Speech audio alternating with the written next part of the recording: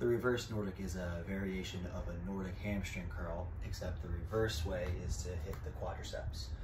So instead of being anchored at my heels and dropping forward into a Nordic hamstring curl, I'm gonna drop backwards, elongating the quadricep, and then pulling back. The modified version you can start with is using a band here, or a doorway or TRX straps to hold and assist your upper body as you lean back but the idea is to maintain this vertical angle of my trunk and thigh and not sink into my heels, creating flexion at my hips.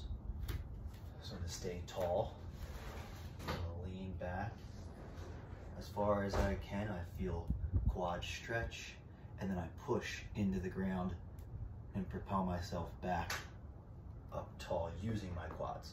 Let's go with a stretch and strengthen the quadriceps modified version here. As far back as I can go.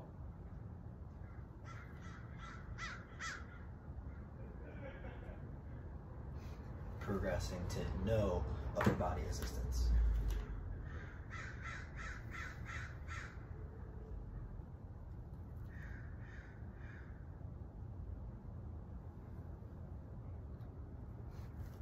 trying not to compensate at the very bottom with trunk and flexion there.